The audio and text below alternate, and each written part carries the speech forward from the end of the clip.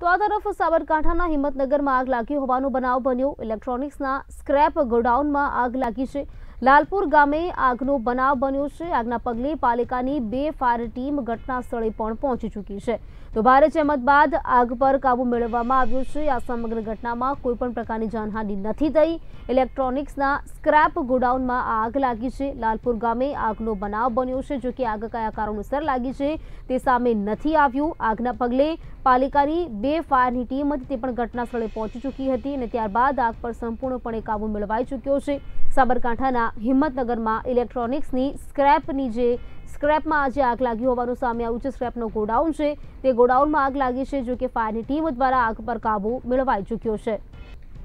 તો આગના પગલે પાલિકાની બે ફાયરની ટીમ પણ ઘટના સ્થળે પહોંચી ચૂકી હતી ભારે જહેમત બાદ આગ પર કાબુ મેળવાયો છે જે ભીષણ આગ ફાટી નીકળી ધુમાડાના ગોટે ગોટા આકાશમાં ઉડતા જોવા મળ્યા સાબરકાંઠાના હિંમતનગરમાં ઇલેક્ટ્રોનિક્સના સ્ક્રેપ ગોડાઉનમાં અચાનક આગ ભભૂકી ઉઠી તેને જોતા લોકોમાં પણ અફરાતફરીનો માહોલ સર્જાયો હતો ત્યારબાદ ફાયરની ટીમને જાણ કરાઈ હતી બે જેટલી ફાયરની ગાડી દ્વારા આજે આગ પર પાણીનો મારો ચલાવી ભારે જહેમત બાદ આગ પર કાબુ મેળવાઈ ચૂક્યો છે